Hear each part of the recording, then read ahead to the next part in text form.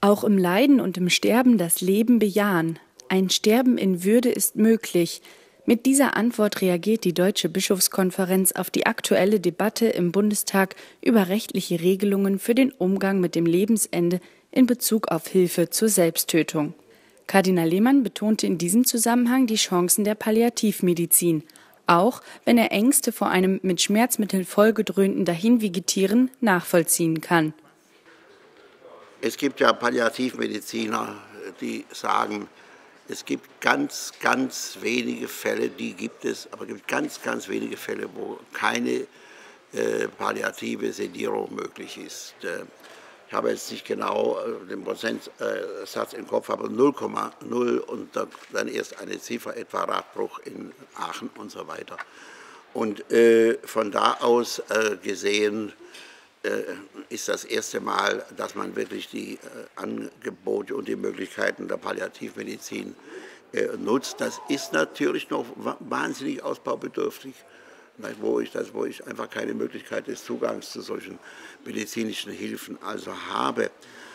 Ähm, nur es scheint mir ähm, ein eigentümliches Paradox zu sein, dass wir in einer Zeit, wo wir, bei die, wo wir in dieser Hinsicht helfen können wie noch nie, zugleich uns so Gedanken macht, wie wir uns am besten um die Ecke bringen.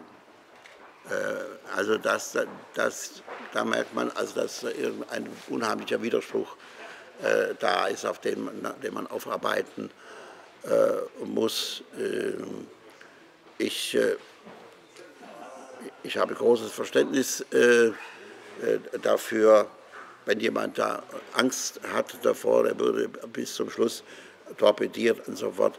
Aber wir haben ja durch die Patientenverfügung die Möglichkeit, dass jemand selber mitredet, bis zu welchem Punkt er eigentlich da äh, traktiert werden will und äh, wo einfach dann äh, nicht mehr.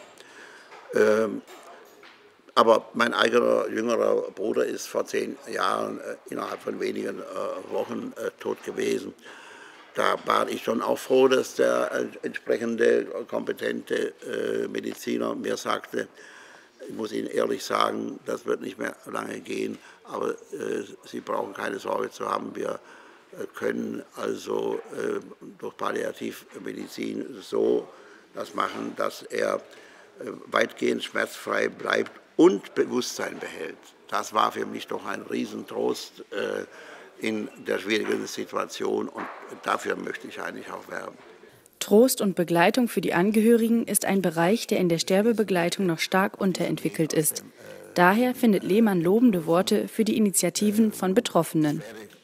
Deswegen finde ich es äh, äh wunderbar, wenn zum Beispiel mit äh, vielen interessierten Leuten zum Beispiel so Hospizvereine gegründet werden. Ich war überrascht, dass ich in Nierstein-Oppenheim 300 äh, Leute bei dem Vortrag hatte zum Beispiel. Nicht?